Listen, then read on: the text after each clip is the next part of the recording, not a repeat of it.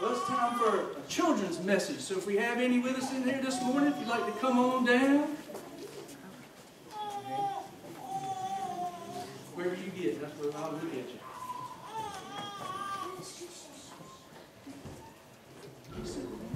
Pretty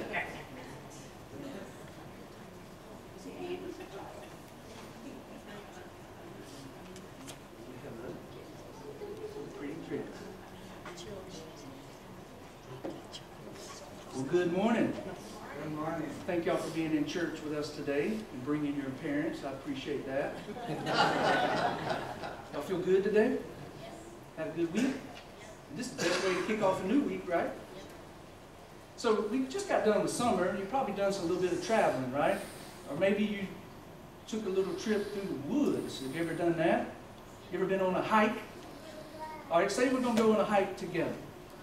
All right? And it's going to be a long hike. And it's somewhere we've never been before. What are we going to need to bring with us?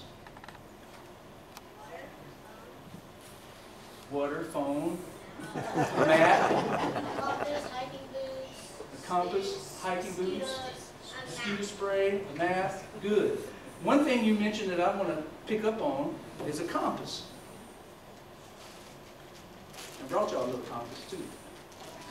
So, the Bible has been called a lot of things, right? It's the Word of God. And, in Psalms it says, Your Word is a lamp unto my feet and a light unto my path, right? So His Word guides us, it leads us, it shapes us, it forms us. It does a lot of things as we read it, as we study it. It helps us grow spiritually, right? And a lot, speak, speaking of spiritually, a lot of people turn to a lot of different things when they need direction in life. Sometimes they base on how they feel or what other people think. But we need to base our life and what we do, our actions, things we, we say and do and think based on God's Word, right? The Bible. So here, y'all take one of these and think about when you see it, maybe pick, pick the color you like. When you see these, y'all think about God and His Word being a, a, a director for your path of life. It helps you find your way. Maybe when you get lost, you always remember that God's with you.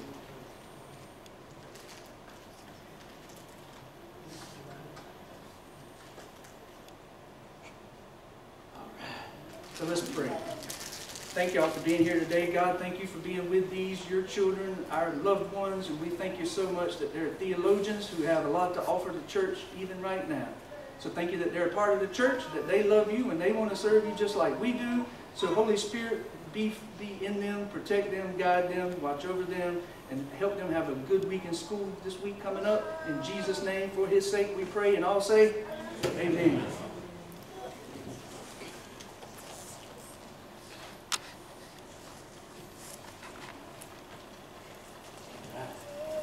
Y'all know the way back. Y'all know where you're sitting.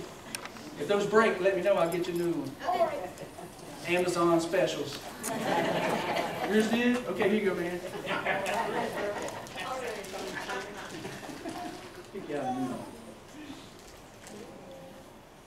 There you go. Maybe we go two for two on that there.